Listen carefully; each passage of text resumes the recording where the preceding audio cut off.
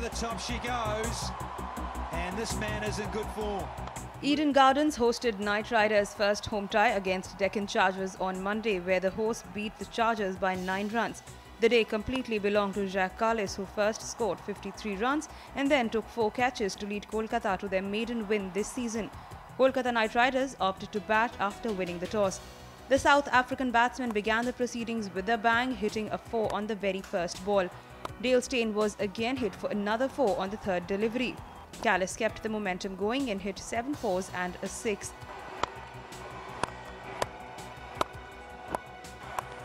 Skipper Gautam Gambhir also scored a quick fire 29 off 18 balls.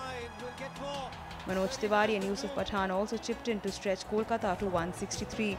In reply, Deccan had a shaky start and lost their openers quickly. However, Bharat Chipli hit 48 to steady the innings, but wickets kept falling at the other end. Kumara Sangakkara did try to support Chipli, but he could not stretch it for long. Deccan could only manage 154 in 20 overs.